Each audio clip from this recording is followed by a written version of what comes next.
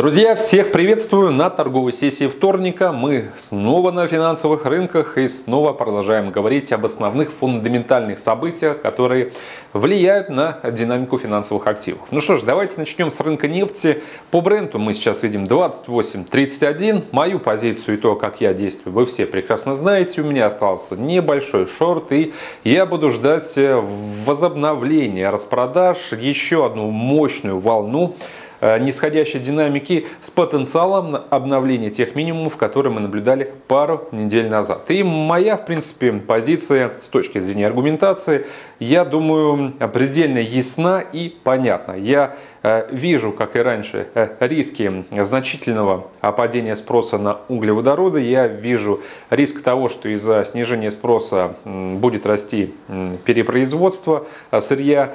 И все это усиливается проблемой отсутствия свободных мест для хранения. В ближайшие недели эти проблемы, друзья, только усилятся, поэтому я с нетерпением жду предстоящие данные по запасам. Сначала у нас будет отчет от Американского института нефти, потом данные от администрации аналитической информации. Поэтому объемом прироста запасов э, недельных на 10 э, миллионов будет достаточно, чтобы еще больше э, нагрузить, опять же, мощности, предназначенные для хранения в Кушинге и снова повесить на рынок риск того, что мы можем столкнуться в момент экспирации июньских фьючерсов, то же самое, что было и в ходе майских фьючерсов. То, что многие инвестфонды, которые занимаются непосредственно торговлей фьючерсами на рынки нефти сейчас отказываются от контрактов с ближайшими поставками перекладываются на контракты с более поздней экспирацией. Я уже об этом, друзья, говорил. Э, как следствие мы видим рост волатильности. Рынок нефти активно ходит. Э, еще раз подчеркиваю тот факт, что если эти движения, которые мы видим, пересчитать на процентный эквивалент, то действительно нефть, наверное, один из самых динамичных активов, которые сейчас представлены на финансовых рынках. Ну, если не брать, например, рынок криптовалют, о нем мы также поговорим.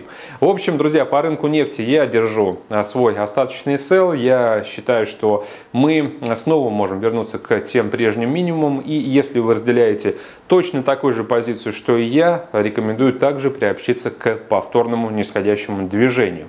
Индекс американского доллара 99.52. Индекс американской валюты зажат, друзья, в очень узком диапазоне 98,5-100,5. И вот э, мы, по сути, в этом диапазоне уже больше месяца топчемся. Я очень рассчитываю на то, что предстоящий релиз по Non-Farm Peril станет переломным в динамике американского доллара.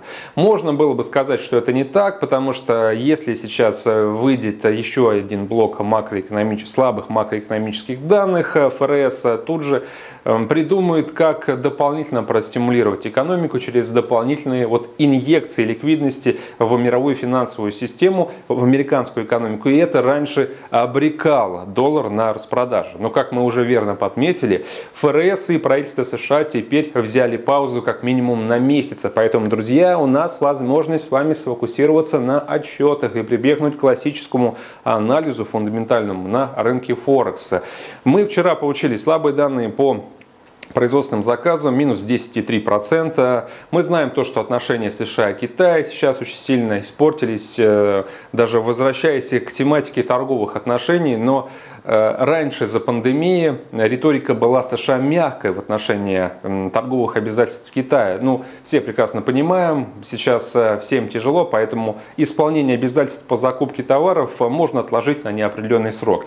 Но после того, как стали активно Помпео, Кудлу и Трамп обсуждать источник происхождения вируса и четко стали указывать, тыкать Китай носом в том, что именно в Ухане он появился, вот эти обязательства и необходимости нести ответственность Китая перед эм, мировой экономикой перед Штатами за пандемию заставили Трампа в жесткой риторике уже вернуться к вопросу торговых отношений. И мы на текущий момент знаем, что ему нравится позиция обвинения Китая в том, что а, произошло. И, соответственно, если отношения будут, точнее, вот эта риторика будет а, в таком же формате развиваться и дальше, то, друзья, все приведет к тому, что мы а, в перспективе месяца, может быть, чуть больше, увидим новые дополнительные пошлины со стороны стороны США в адрес Китая, возможно, даже потом и Китай также ответит, это точно лишь усугубляет перспективу мирового экономического роста. Такой небольшой звоночек для тех, кто сейчас на всю катушку продолжает покупать американский фондовый рынок. Идем дальше, друзья. На этом новости не заканчиваются негативные. Помимо статистики плохой, помимо Э, отношений с э, Китаем э, очень непростых. Федрезерв опубликовали прогноз относительно экономического роста. Мы помним, что по итогам первого квартала американская экономика снизилась на 4,6%. Но во втором квартале 4,6% это были лишь цветочки, ягодки будут уже по итогам второго квартала. И даже ФРС признает то, что снижение будет не просто значительным, оно будет беспрецедентным. 28% 10% это их оценка. Однако на рынке есть скептики-реалисты, считающие, что поскольку именно США столкнулись с, возможно, максимально негативным воздействием пандемии и пропустили это через рынок труда, через сектора, через национальную экономику, вот по пику, по количеству летальных исходов, по общему количеству заболевших, э, американская экономика во втором квартале потеряет больше 65%. Друзья, я думаю, что эти цифры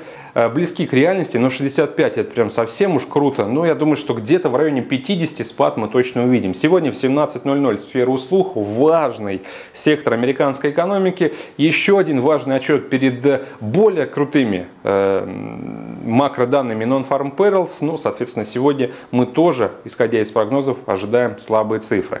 То есть, чем хуже сейчас будет выходить статистика, тем больше э, есть шансов восстановиться у доллара и американской валюте. Сейчас нужно пользоваться этими возможностями. Я э, держу длинные позиции, друзья, и ожидаю увидеть индекса под закрытие пятницы уж точно выше э, сотки. Золото 1697, э, евро против доллара 1.0901. Мы снижаемся. Тоже здесь слабый отчет по экономическому росту. Э, по итогам первого квартала минус 3,7%. Но э, проводя аналогии ожиданий негативного эффекта пандемии на экономику, который мы только что говорили в рамках США, понятное дело, что в еврозоне тоже более страшные цифры будут по итогам второго квартала. Вчера отчет по производственной активности Германии, еврозоны. Если кому интересны цифры, посмотрите в экономическом календаре, там тотальное снижение и спад. А, индикатор а, уверенности Sentix потребителей тоже рекордное падение. 8 а, мая, друзья, в эту пятницу Модис будет пересматривать кредитный рейтинг Италии. И я думаю, что так же, как и Fitch, уведут его в разряд мусорного. Это, опять же, будет еще одним э, сигналом того, чтобы в ходе следующего заседания Европейский Центральный Банк все-таки допустил возможность покупки облигаций с мусорным рейтингом, потому что Италии, безусловно, нужно будет помогать. Я уверен, то, что без новых стимулов мы не останемся, и это будем использовать для давления на курс европейской валюты. Фунт против доллара 1.2460. Друзья, я держу э, отложку sell э, стоп с уровня 1.2370. Вы знаете. Сегодня важный отчет, очень скоро, в 11.30 по московскому времени. Это данные по сфере услуг. По аналогии с провальным релизом в пятницу по промышленности, мы ждем слабые релизы по сфере услуг, поскольку это большая часть экономического роста, 80% ВВП приходится на сферу услуг. Эм, соответственно, слабые цифры должны привести к еще большим распродажам фунта, нежели чем те, которые мы видели в пятницу. Поэтому вполне возможно, что сегодня снова э, сработает вот эта отложка 1.2370 1.10 и я лично двину ниже э, к уровню 1.20 и надеюсь приблизиться к нему, потому что впереди у нас заседание Банка Англии с возможностью анонса новых мер экономического стимулирования.